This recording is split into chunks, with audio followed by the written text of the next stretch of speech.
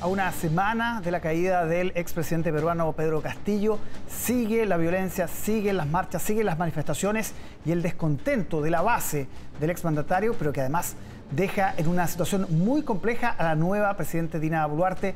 Tema para Paz Zárate, abogada internacionalista, panelista de Tele Noche. ¿Cómo estás, Paz? Buenas noches. Buenas noches, Álvaro. Bueno, preocupados todos, yo creo, por Perú. Sí, totalmente, porque lo que pasa al lado siempre te afecta. Sí, y en este caso yo creo que hay una, hay una repetición un poquito pero preocupante, al menos de ciertos factores que nos recuerdan a, Fujimori, aunque en este caso la, dictadura de Pedro Castillo duró quizá un par de horas, pero los antecedentes que vemos ahora son muy preocupantes y hablan de un descontento profundo y que quizás excede incluso de los simpatizantes de Castillo su insatisfacción respecto de la situación de él en particular. Claro, porque lo que hemos visto son básicamente protestas más fuertes en sectores rurales, sectores alejados de las ciudades, intentos o a veces eh, se ha logrado tomas de aeropuerto, que es una cosa que es absolutamente estructural para un país.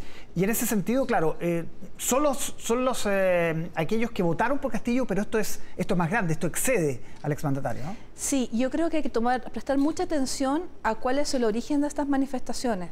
Eh, y efectivamente hablan de esta brecha muy profunda entre la ruralidad y las urbes peruanas. y que efectivamente esto ya partido de la ruralidad no es un, no es un accidente, porque por un lado sí es verdad que Pedro Castillo viene de ese mundo, pero también es el mundo más castigado, el que se siente más abandonado por la capital, es el que está experimentando la sequía más grande en la parte andina en 50 años, donde los animales están muriendo. No vale la pena venderlos porque están destinados a morir, nadie tiene cómo alimentarlos. Eh, es el mundo donde no existe, la, ahora no está, no está funcionando la agricultura de subsistencia, donde no están los fertilizantes. Es decir, aquí, aquí hay, un, hay un pozo de descontento que partió en el sur, ahora está en el este y en el norte del Perú, y que esta rabia va mucho más allá del hecho de que efectivamente se sentían representados por Castillo y ahora Castillo ya no está. Ahora, la nueva presidenta incluso ha tenido que eh, acortar los plazos que originalmente ella misma planteó respecto a elecciones adelantadas. ¿Cómo, ¿Cómo, vislumbras la salida? Porque si bien ella tiene una, ha intentado tejer alguna relación con el Congreso, cosa que no tenía Castillo, de todas maneras la calle la está empujando a tomar decisiones. Sí, eh, la presidenta, la actual presidenta en ejercicio ha tratado de hacer algunas cosas. Por ejemplo, un gabinete tecnócrata para tratar de manejar la situación que es muy difícil. También el hecho que tú mencionas que ha reducido los tiempos para eh, tener nuevas elecciones en un intento de aplacar la furia.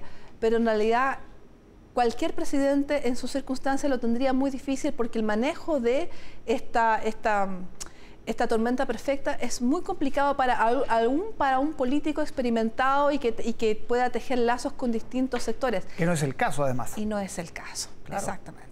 Así que está, la verdad es que esto no pinta bien, porque a pesar de que se trata de aplacar la furia y que se ha dictado este estado de emergencia, esto puede calmar las cosas seguramente porque se trata de fin de año, la gente quiere tranquilidad para poder desplazarse quizá a ver a su familia. No es seguro, por ejemplo, si va a haber toque de queda o no.